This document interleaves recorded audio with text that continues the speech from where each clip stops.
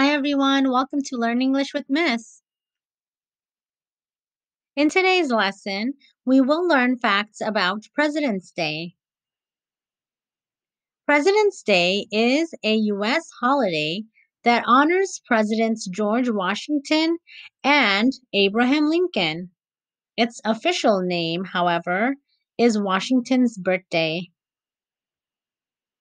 In general, President's Day is a quiet holiday. Washington, D.C., and other places in the United States hold ceremonies. Some government offices, schools, and businesses are closed for the day. Stores often have President's Day sales. In the 1880s, the U.S. government made the birthday of Washington February 22nd, a national holiday. New York, Illinois, and some other states made the birthday of Lincoln February 12th a holiday too. In 1968, the U.S. Congress passed a bill to move Washington's birthday from February 22nd to the third Monday in February.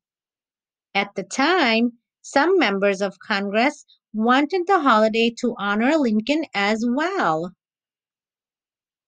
They tried to change the official name to President's Day, but they failed.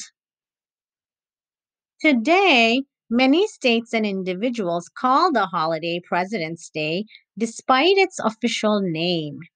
They consider it a celebration of Washington and Lincoln, or even of all U.S. presidents.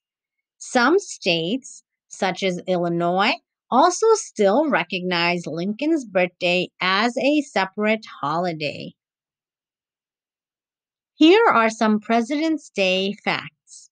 President's Day was established in 1885 in honor of George Washington, whose birthday fell on February 22nd originally falling on Washington's actual birth date each year, President's Day was moved to the third Monday in February as a part of the 1971 Uniform Monday Holiday Act, which was established to create more three day weekends for workers.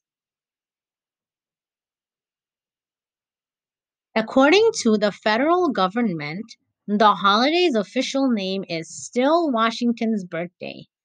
On February 22nd each year, Washington's farewell address is still read in the United States Senate.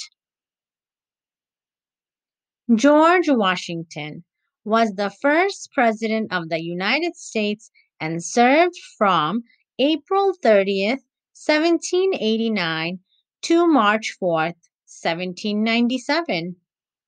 Established the two term precedent for presidents after declining to serve a third term and retiring to his home in Virginia called Mount Vernon.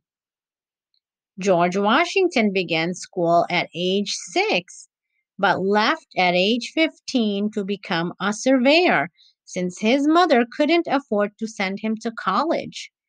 Never had children of his own, at age 26, Washington married Martha Dandridge Custis, who already had two children.